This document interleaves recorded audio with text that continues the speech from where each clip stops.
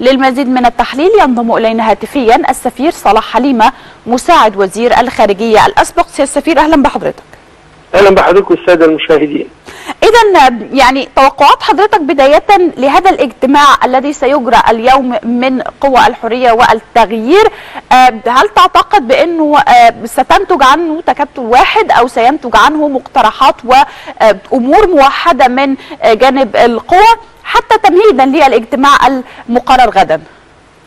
آه، في تقديري ال- ما يجري الآن هو يدور حول الوثيقة الدستورية أو الإعلان الدستوري الذي أعدته آه، قوى الحرية والتغيير.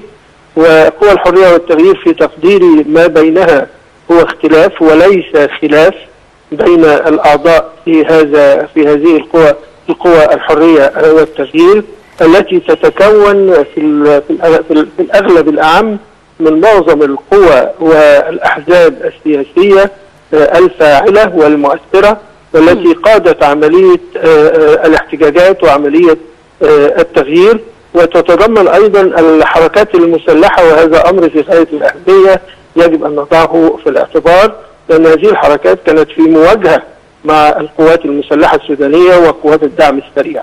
من ناحية أخرى أجد أيضا أن ما تقدمت به آه، قوى الحرية والتغيير كوثيقة دستورية آه، أعتقد لا الملاحظات التي أبداها المجلس العسكري الانتقالي عليها أعتقد أنها ملاحظات يمكن يعني التفاوض بشأنها ويمكن تعديلها على النحو الذي يمكن معه أن يتم نوع من التوافق بين الجانبين بصدد الوثيقة أو الإعلان الدستوري الذي يؤكد على المطالب الحقيقية للشعب السوداني والتي تتمثل في مجلس سياده مدني.